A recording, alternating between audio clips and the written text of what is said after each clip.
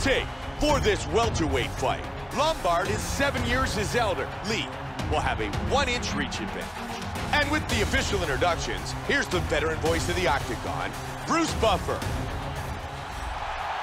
Ladies and gentlemen, this is Bruce Lee, Hector Lombard. And we are underway. Fight scheduled for three five-minute rounds. White trunks for Lombard. Black trunks for Lee. Beautiful jab. The huge head kick is blocked. Oh, big oh, kick. That hurt him.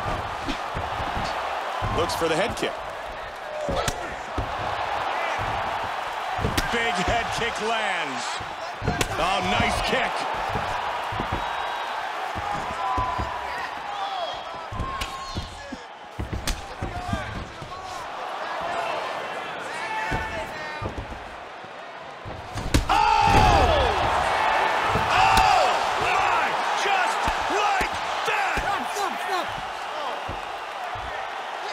Beautiful KO for the victory early in the first.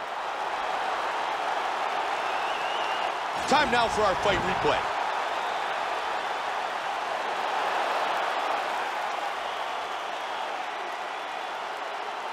Let's check that out from a different angle. Look at this. Boom! And that is all she wrote. Bruce Buffer.